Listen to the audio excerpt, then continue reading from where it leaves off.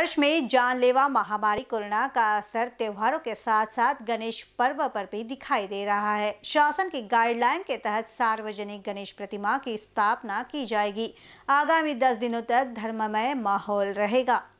बता दें कि इस साल भी कोरोना को देखते हुए शासन की गाइडलाइन को ध्यान में रखते हुए प्रतिमा की स्थापना की जाएगी, जिसमें चार फीट से अधिक ऊंचाई की मूर्तियों की स्थापना नहीं हो सकेगी। पूजा पाठ में भक्तों की सीमित संख्या रहेगी। सैनिटाइजर, मास्क और सोशल डिस्टेंसिंग का पालन करना होगा। साउंड की सीमित आवाज़ रहेगी। इन सभी आयोजन के लिए भी शासन से स्वीकृति लेनी होगी। यदि किसी भी सार्वजनिक गणेश उत्सव में नियमों का पालन नहीं किया जाता है तो शासन उचित कार्रवाई करेगा। गणेश स्थापना को लेकर बाज़ार गुलजार हो गए हैं। भक्तगणों में गणेश प्रतिमा खरीदने का खासा उत्साह भी देखा जा रहा है। दो पहिया तीन पहिया और चौपहिया वाहन में प्रतिमा ले जा रहे जय गणेश के जय घोष लगा रहे हैं। वही गणेश प्रतिमा सजाने, पोषक सजावट सामग्री और पूजा पाठ की सामग्री भी जमकर खरीद रहे हैं। बाज़ार में खचाखच भीड़ है, पैर रखने की भी जगह नहीं है।